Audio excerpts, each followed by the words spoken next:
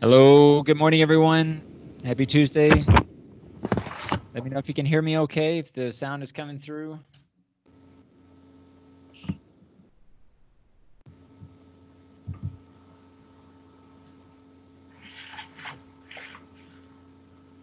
Can you hear me? Yes.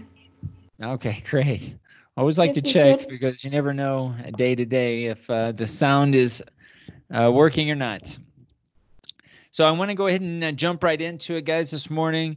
Uh, just a reminder tomorrow we're going to have our second review. It's going to be our second of third review. So um, hopefully you've been having a chance to not only look at some of the examples of the figurative language that you're using in your own um, in your own work in your own poems but also looking at additional examples um, that uh, can be found online. Again, I think one of the easiest ways to become familiar with the, these different examples of figurative language is to provide one or two examples, kind of have them either in a notebook or on, on your device, and uh, look at those examples frequently. If you can use examples that you've heard before that are familiar uh, to you, even better, right? So that you can learn to associate those examples that you've already heard uh, in terms of what kind or what type of figurative language it is. So tomorrow we're going to dedicate uh, tomorrow's class online session to uh, doing our second figurative language review. Today we're going to introduce the sonnet, and I want to give you some time today to begin thinking and uh, drafting up your uh, your first few lines. I'm going to share my screen, and I had a chance to look at uh, some of your posts in the virtual classroom, and I left some comments. I think I left comments uh, to everyone who posted. Uh, again, this is meant to uh, allow you to reflect on the person, like who again this person is in terms of why he or she is praiseworthy. It could also be an animal or something related to nature, of course, as well. But for you to be thinking in terms of some of the question words, what and how and where and when this person uh, or this thing has become significant in your life. So um, feel free to share whatever you're comfortable with sharing and uh, think about, put a lot of thought into uh, the object of your sonnet. Since we're going to be spending several days working on this, we want to choose someone very or something very special to us so that um, it really drives us and to through the the whole process, through the whole writing process. Um, and I just wanted to clarify also that you can choose any person, any family member that you that you wish. Right, this is completely open, and there's no uh, yeah. You can choose whomever you want. I think I did suggest yesterday if you're writing about parents or you're writing about more than one person that you pay close attention to how you want to talk about let's say two people how you want to talk about both in the poem how you want to represent both uh, of those of those people. Um, so it certainly can be done um, but i adds a slightly uh, another level of complexity to it. And again i'm i don't want to discourage you from doing that. Go for it. Um, but you uh, you might want to pay close attention to how you introduce uh, both of those. And again, the idea here, especially if we're talking about a person, you know, hopefully this is a poem that you'll want to read to this person, right? Of course, this this is why we uh, develop sonnets, especially when we're thinking about a person, is so that we can demonstrate this person by re- uh, and uh, to the person uh, personally, right? So hopefully, if you've chosen a person, um, you know, hopefully you'll take advantage of sharing this poem with your uh, with that significant uh, individual. Right. So today we want to look at the sonnet, and it's it's uh, a little bit more complex because for number one, the length Number two, there are different aspects of the poem that we have to kind of think about at the same time. And that's what makes this difficult. This is what I want to talk about today and um, give you some tips, hopefully some strategies here to think about when approaching your your sonnet for the maybe for the first time. Um, so look at we're going to take a look at this video. I'm not going to play the whole video because it's about 10 minutes. I think it's a little on the long side to watch the entire thing during class, but I want to take a couple of key points from here and then um, you know you can certainly look and watch the video uh, on your on your own to get all the details here. But if you look just from this thumbnail, there are three main aspects of the sonnet that we need to try to contend with, that we need to do. And this is in no particular order. At the top, we have the rhyme scheme, and we're going to look at what that means. So we have to, uh, we're going to have to rhyme like what we had to rhyme with in the, the limerick. We had a specific pattern. We're going to have a specific pattern for the Shakespearean sonnet. Now, it's important to notice I'm going to say sonnet, and maybe sometimes I'll say the Shakespearean sonnet. For our purposes, we're going to develop a Shakespearean sonnet. There are different types of sonnets that are available that are doable, but we're going to uh, focus on the Shakespearean sonnet. So when I, I may use the term sonnet by itself, but I mean the Shakespearean sonnet. So we have to rhyme. So we're going to have a specific rhyming scheme. We're going to have what's called iambic pentameter, and we're going to look at that here in a second as well. And this has to deal with stress. So just like what we had to deal with with the limerick, da da da da da da, right? We had that that um, that stress pattern, we're going to have a very specific stress pattern for the sonnet called iambic pentameter. And finally, the content and the structure, and we'll look at that as well. We're going to look at the specific content and basically looking at two different sections of the uh, of the sonnet for for our purposes. All right, so I'm going to forward a little bit here to certain parts of the video.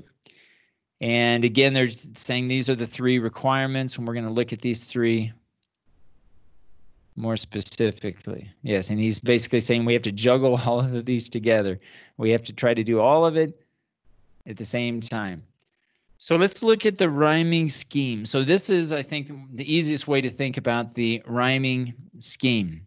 Now, the sonnet is going to have 14 lines. You'll notice we have here a group of four lines and a second group of four lines, a third group of four lines, and then a, uh, a group of two lines.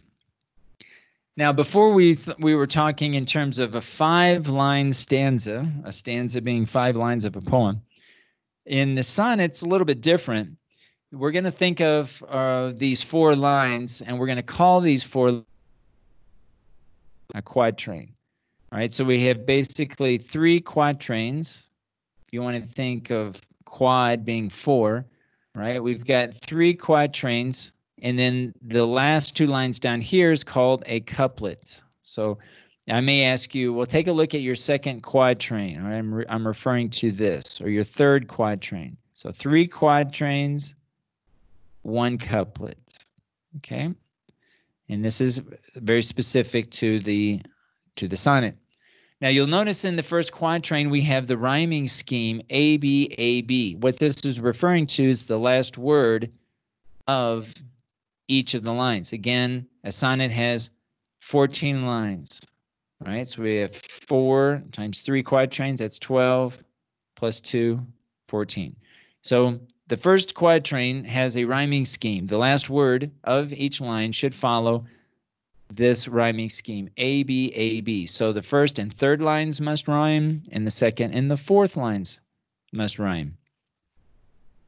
The second quatrain, C, D, C, D, now we have to deal with uh, the first and third line of the second quatrain rhyming with the uh, first and third line, sorry, rhyming with each other, and lines two and four of the second quatrain must rhyme. Now, notice here that these are different letters, which means that they're different words, they're different uh, sets of rhyming words. All right, so this this automatically now becomes more complicated because it's not. We're basically saying we any word that you have here with A and B, we can't rhyme. We can't choose any more words that rhyme with those. These have to be different words that rhyme. All right, so we have C, D, C, D. Quatrain E, F, E, F. Again, the first and third lines must rhyme, and the second and fourth in the third quatrain must rhyme. Finally, in the couplet, at the, the last two lines, we need to find in other words that rhyme, but they rhyme with each other. All right, so this is going to be the rhyming scheme, and I'm going to give you a, a tip, a strategy to uh, consider at the end here to uh, to maybe help with the rhyming scheme of the sonnet. Since it again, it's rather long, it's 14 lines, and it has a lot of different types of words that must rhyme with each other. Okay, so this is the rhyming scheme. This is one one of the aspects, one of the three aspects that we need to contend with when we write a sonnet. Here's an example. Believe Eve, round sound, soft aloft. So use, if it does help, use the website for rhyming, right? That's, I think, useful. I don't think it's a, a perfect tool. Maybe it will give you some ideas, um, but but make sure that you're uh, comfortable with the way that the words are pronounced and choose easy words, right? Notice these words here. These are fairly basic words. Try not to get into three and four syllable words. Uh, it's just it just makes it more complicated. All right. So we have so many different types of words that rhyme. I think you have a lot of different options. And one of the strategies we talked about before is making uh, an association, a word list that uh, that rhyme with each other. So maybe you categorize different words based on how they sound, and then you can pick and choose certain words from those lists to kind of insert them into your uh, your poem. I look at uh, a poem, especially a sonnet, kind of like a puzzle, because we've got all these rules and we've got to kind of fit the words into these spaces according to the form but also in a way that's uh, meaningful, right? So it's kind of I look at it kind of as, as a as a puzzle. So if it helps to create those word lists, use those word lists because sometimes just by having a, a list of words, sometimes the the story, the meaning comes comes out, right? It comes out based on how you're looking at different words uh, from these lists. Okay, so this is an example of a rhyming scheme. I think this is actually it comes from an actual uh, sonnet. Okay, and uh, this is a, a, good example to uh, refer to when you're looking at examples of the rhyming scheme for the sonnet. Uh, let's see what else. Um, okay, this they show they do talk about another type, um, but just disregard this type of sonnet. Again, we're only going to focus on the Shakespearean sonnet, uh, looking at the rhyming scheme that we just talked about. We will not use this rhyming scheme here. You, so you can just kind of go over, just ignore this part.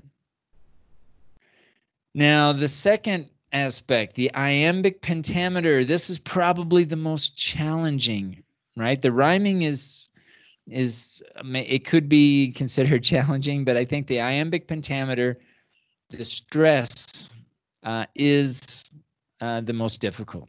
All right, so iambic pentameter, we've got two words here, iambic and pentameter.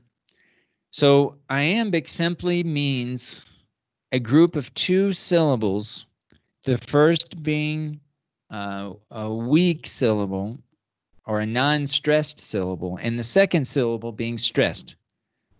That's all iambic means. It's a fancy word for da-dun. Da-dun. That's an iambic. Two syllables, weak, strong, or no stress and then a stress. Da dun. Da dun. Pentameter simply means we're going to have in each line five iambics. Each line of your sonnet will have five iambics. So if an iambic is da da, if you have five of those, it's going to be da da da da da da da da da. That's your stress for each line. Each of the 14 lines of a sonnet should follow iambic pentameter. Da da da da da da da da da. That's the second line. Third line. Fourth line. Right? That's it. That's iambic pentameter. Now, here, they try to show you ways to, I guess, pronounce, pronunciate uh, this this stress, ba bum, ba bum, ba bum, ba bum, ba bum, right? So that is kind of a weak or unstressed syllable, and then followed by a stressed syllable. Ba bum. The Mets. That's an iambic. The Mets. Because we don't say the Mets. I mean, that's actually funny because well, there's a Saturday Saturday Night Live sketch that they actually pronounce it that way. But anyway, and that's what makes it funny, right? Because normally when we say the Mets, we say it weak strong. We don't say the Mets, the Mets, right? And in normal circumstances, right? So that what they're trying to, what he's explaining in this video, and he shows some good examples of iambic pentameter, five, right?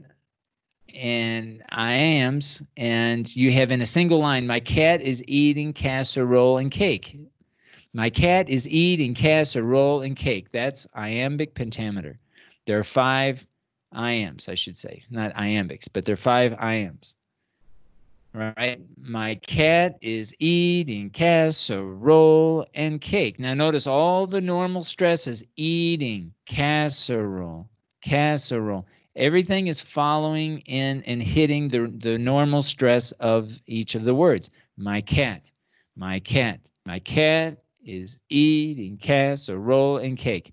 So, this is what we're going to be dealing with when we write each of our lines? How can we create a meaningful line and follow iambic pentameter and also respect the normal stress of the word? I can't pronounce eating. Like, in fact, he does something funny here. He actually changes this to show you what not to do right? So this is again, this is the right way. My cat is eating casserole and cake. See that? My my cat is eating. That's the correct way.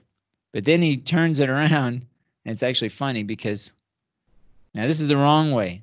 We wouldn't say my cat is eating casserole and cake. Right? That would be the the opposite.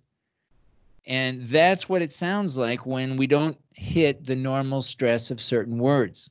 Maybe it's not this extreme as this example, but there are going to be times where we we have certain words we want to use. We want to use casserole, but it doesn't quite fit because of the words that come either before or after. And so we have to kind of experiment and change around the words so that casserole is fits right within the iambic pentameter, the stress pattern of each line. And this, I think, is the most challenging part, right? Iambic pentameter, the stress. So really pay close attention not only to iambic pentameter, but also the normal stress of certain words. When we say eating, for example, it's strong, weak. It's not weak, strong. Eating. Casserole, casserole, not casserole. And so if it helps to use a dictionary to find those stresses, make sure you use those.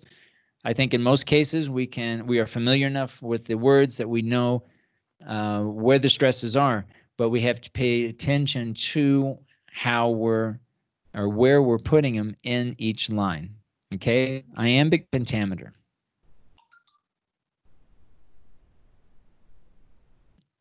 All right, and these are some some examples. Again, I recommend that you take a, a look at this video. This is another example of iambic. All right, now the content. Now the content. All right, so we write a sonnet usually to praise someone or something, right? So this is really the purpose of usually of developing a, a, sonnet, right? We want to show appreciation to someone or something through the use of the sonnet, through the use of writing this long poem with all of these rules, but we want to express gratitude. And so try to keep this in mind. One of the reasons why I asked you guys to share yesterday in the post the person or the thing or the object that you want is so that you started reflecting on what are all the, the small things about this person or thing or this object that really means something to you so that you can start thinking about how those thoughts, those ideas, and feel this person or thing or object bring that into some sort of uh, creative writing experience, writing it in, in the form of a. We're going to be praising someone or something, and let me see if I can move. Oops, sorry. Hear me? I'm to make sure. Yes, teacher. Okay. All right. Um, sorry about that.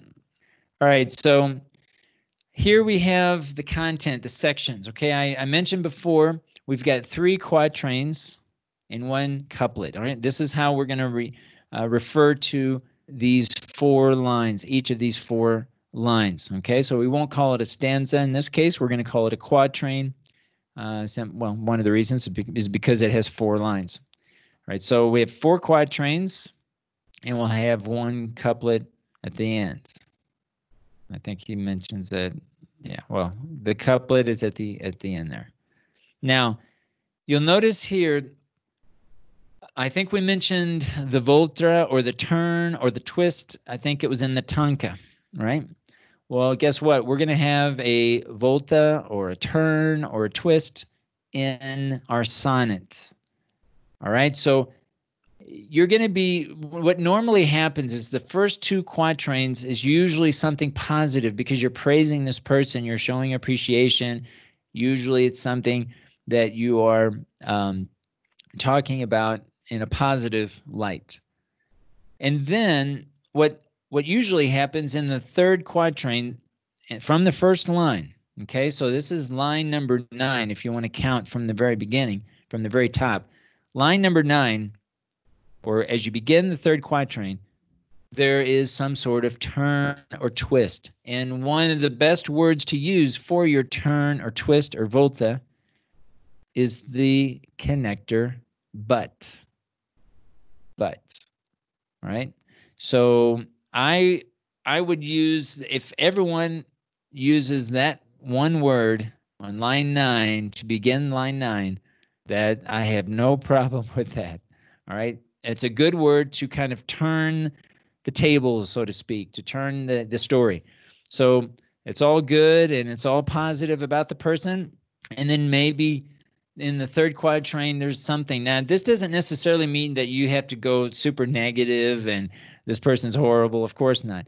But, uh, you know, maybe there's something else interesting about the person that's a little bit different or off, you know, that you can share because the last two lines, the two, the the couplet at the end, that's when you're going to return back, and everything's sunny again. Everything's great. All right. So uh, look at it like basically. I I think I mentioned earlier two parts. It's actually three parts. The first two quatrains is mainly positive. You're praising the person.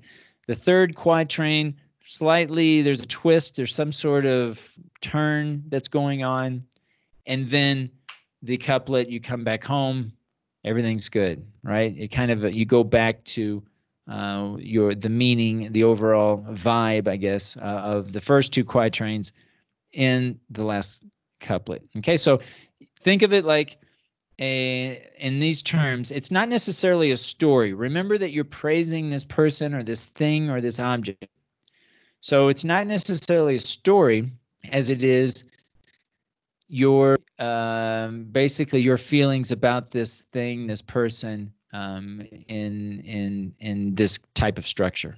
Okay, so this is more or less the form, the structure of the of the poem. And I would also throw in this category of the content and the structure, the use of figurative language. The use of figurative language.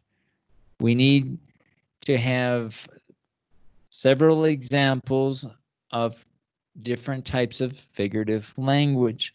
Okay, and they can occur anywhere in any part of the line, part of the line. You know, it, it doesn't necessarily have to be the entire line. It depends on what kind of figurative language it is. But we want to try to sprinkle figurative language throughout. That's really going to bring out and improve, I think, our our poem because again, this is creative writing. This is not a very literal uh, account of this person. This is uh, something that should articulate some feelings, some emotions. Think of the five senses again, right? Think about what something or someone or some object not only looks like, what do they feel like? What do they smell like? What do they taste like? What they what are all the different um, the senses that we can bring into our poem to to uh, to talk about for for this particular uh, poem. All right, so think about the five senses. Think about the different examples of figurative language that you can use in your po- poetry. All right, so the rest of this is more just basically talking more about what we're what I've addressed here, and we're talking about the turn. I think those are the main points I wanted to address when looking at uh, when thinking about the poem. All right. Um, any questions? I know there's a lot of information here. Are there any questions about what I what I covered in terms of the structure or iambic pentameter or rhyming schemes? Yes, teacher. I. Uh huh. Go ahead. Um, teacher, um, how many words or syllables and had each sentence. All right, so what do you guys think? I'll turn that to the whole group. How many syllables? And I, I, I won't use the word sentence. I'll try. I'll use the word line. There are going to be 14 lines. So how many syllables will there be in each line of a sonnet? Any ideas? Maybe seven. Seven? Anybody else? How many syllables? Because that's a good question.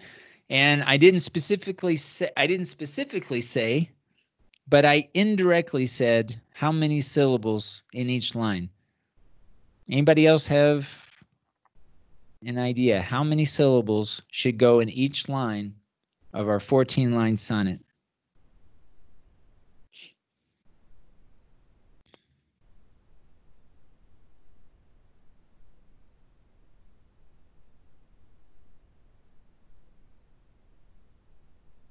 Any ideas? Let me ask another question. Can someone define iambic pentameter?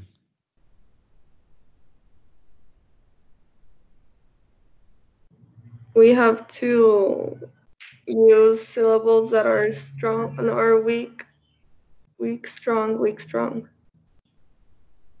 All right. And anyone else? Can anyone else add to to that? Defining about well, iambic pentameter because we have basically two words there. So what does each word mean?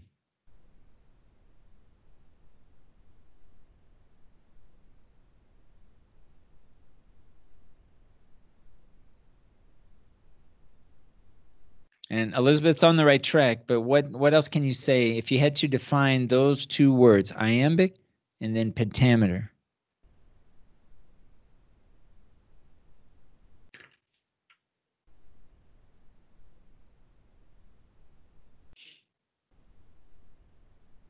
What does iambic mean?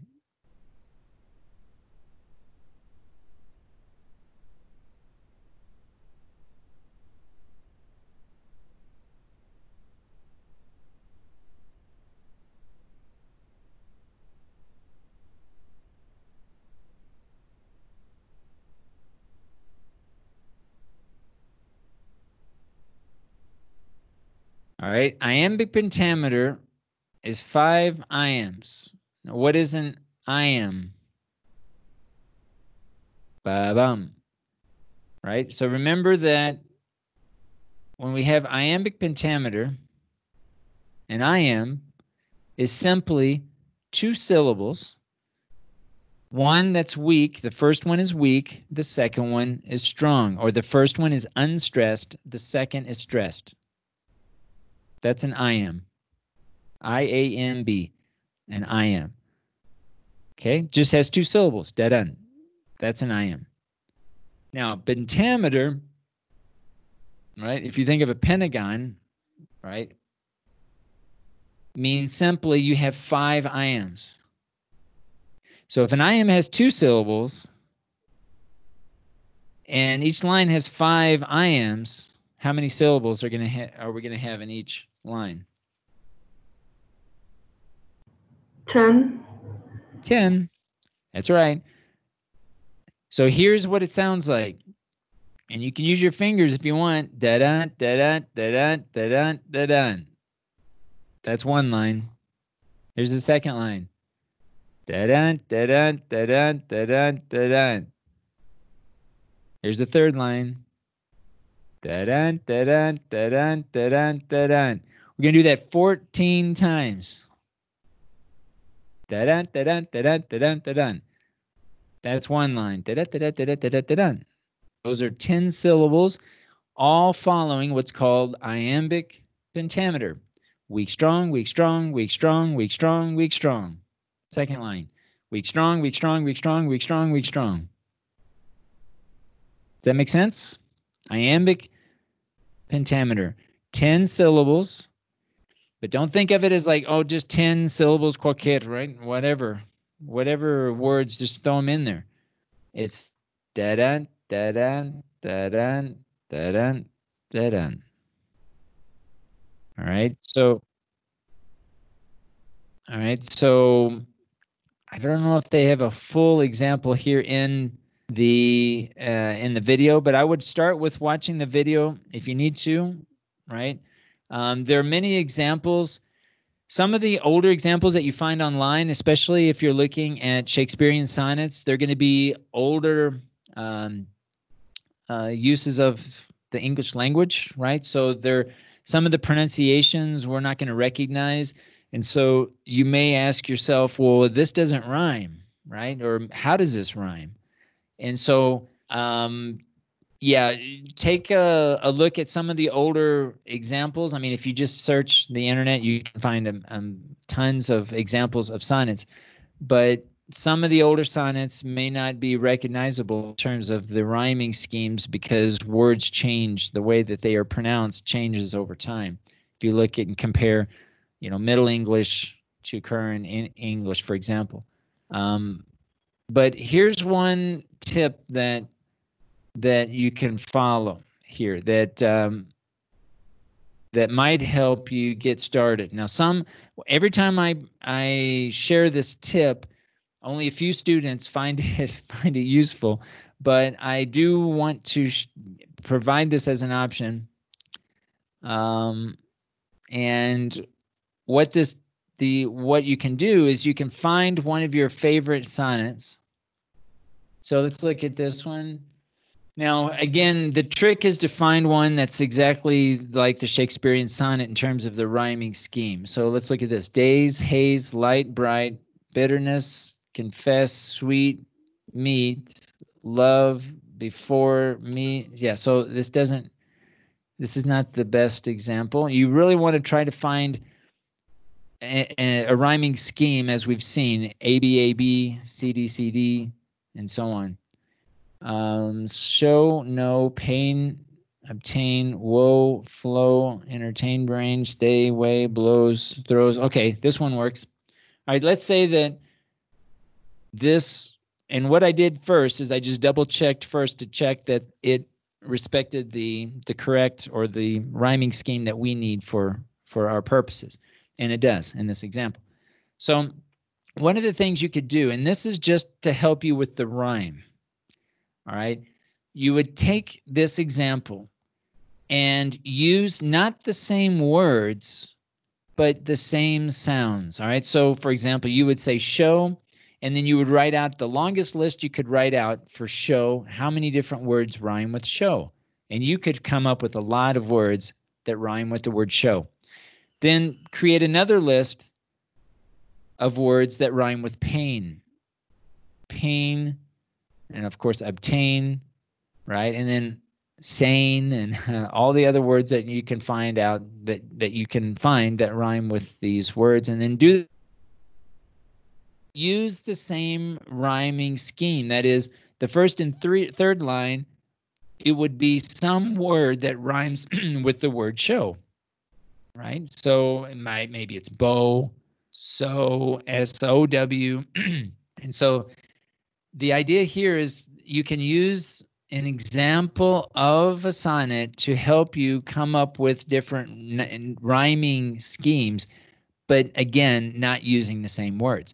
And then you can go in and change, obviously, change these lines and create your own, right? Your own, um, your own poem.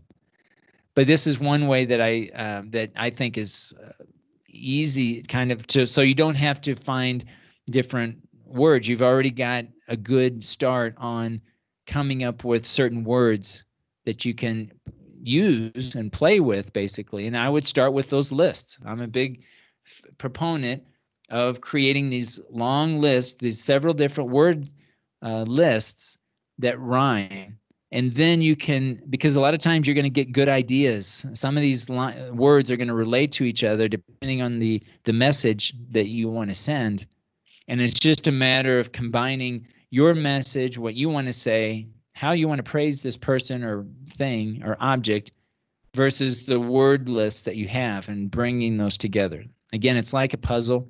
You want to try to bring that in and then combine that with a list of some examples of figurative language. I would start coming up with some of your uh, favorite examples of figurative language and ones that have certain meanings that you want to bring in and um, and then just try to put it all together. Okay, so this is what I would do to begin, right? So if that helps, great, do it. If it if it's more confusing that way, then then that's fine. You don't have to do it, but uh, try to keep that in mind here. That we've got three things we have to deal with with the sonnet. We've got the rhyming scheme, iambic pentameter, and then we have content and structure. That is, we've got certain uh, things that we need to say in the first two quadrants. Then we have a turn or a twist in the third uh, quatrain, should say quatrain. And then the couplet at the end is going to return back kind of our summary, kind of our uh, coming back uh, home moment and uh, finalizing th- our praise for, for this person or thing or object. Teacher, maybe you have mentioned it, but I'm kind of confused or I'm lost to be honest. How many syllables in each line? 10 syllables in each line. 10. And it should be a strong weak.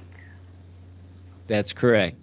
Da-dun, da-dun, da-dun, da-dun, da-dun. That's that's a quad that's an iambic pentameter. That's a one line.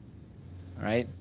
Um, let's look at, let me see if I can find another example.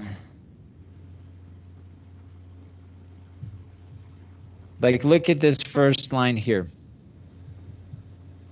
One day I wrote her name upon the strand.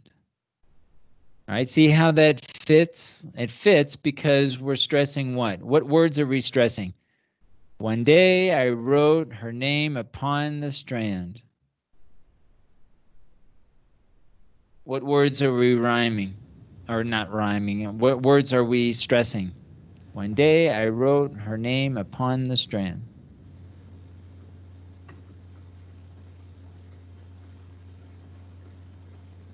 Anyone? What do you think?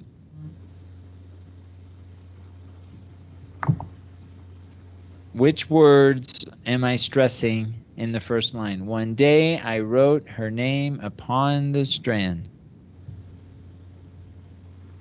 Can you hear the stress? They wrote. Wait. They wrote name. Uh huh.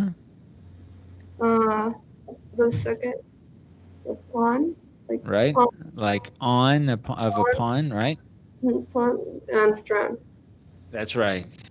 Right. And that's how that's how it should flow. Now, some of the examples that you find, that's why um, I don't want to spend a lot of examples looking, a lot of time looking at examples because some of these examples are better than others. But this is a good line. One day I wrote her name upon the strand. It just that it flows because we're stressing more content words, right?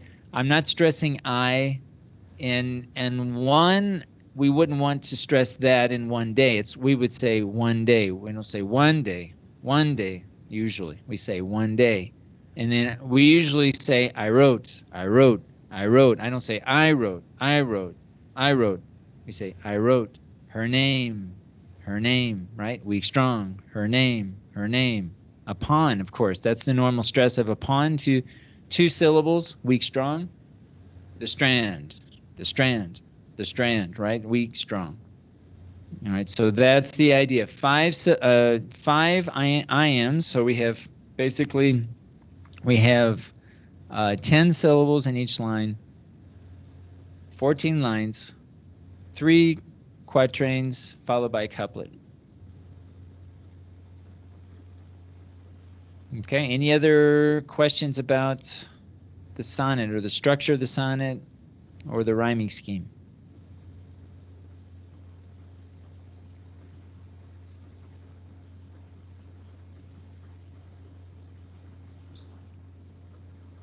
Thank you. No? All right. So um, we've got a few more minutes here. I just want to show you, if you're still looking here at my screen, week 15. Uh, here's where you'll find the video. So if you do need to watch the video, you can find it there. Under activities, here's where we're going to be working over the next uh, couple of weeks in our wiki called Sonnet. This is an individual wiki. Again, uh, as we've done in the past, just hit, click create a page. Don't change anything here. Leave everything as is. And this will take you right into your wiki. And this is where you can develop your your sonnet. All right. And as you're developing your sonnet, again, as always, uh, the key, I think, is to try to receive some feedback throughout the process, especially this poem if you guys are developing this without getting any feedback for two weeks, well, I don't know. I think I would feel more comfortable in my final reading if I had uh, several conversations, not only with me, but also your classmates, looking at each other's work and making progress and, and, and receiving feedback. So we're going to have um, probably this Thursday or Friday, depending on how things go, for, certainly by Friday. I would like for us to have at least one quatrain for for the sonnet, and then that way we can look at that and discuss them and kind of compare and see how we're doing and get some feedback. So that will help you going forward, hopefully, with the remaining uh, quatrains and the couplet. Okay. All right. Any other questions, guys, about about the sonnet?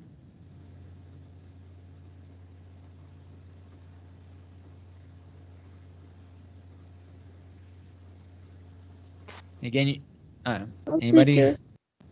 yes, go ahead. No, teacher. I know. Okay. Uh, again, you guys can choose whomever you want. Um, you know, it doesn't matter. You know, if you want to talk about one person or a group of people or an object or a, or, or an animal or a pet, um, but do make it uh, something or someone that is uh, significant uh, to you, so it has some sort of uh, emotional attachment, so that you have a drive here uh, to to write the the sonnet. And um, tomorrow in class, we'll have uh, time to take our second review of the figurative language. And uh, Thursday, we'll continue working in class. Um, and um, we'll continue working on that, and I'll probably come up with some. I'll try to come up with some additional examples of sonnets if those help. Uh, but I, I want to be very careful with the types of sonnets simply because there are many different variations of sonnets that uh, are avail or that are out there, and um, but we'll I'll bring in a few uh, examples that are very specific to what uh, to what we're doing. All right. Any other final comments or questions?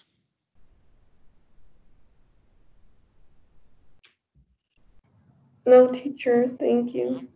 All right. I think we'll go ahead and stop there. Again, feel free to take a look at the video, continue uh, preparing for tomorrow's review, and um, I think we'll stop there for for today. All right. Thanks, guys. Enjoy the rest of your day, and we'll see you guys uh, tomorrow morning. Bye, teacher. Okay, teacher, bye. Bye. Okay, teacher, thank you.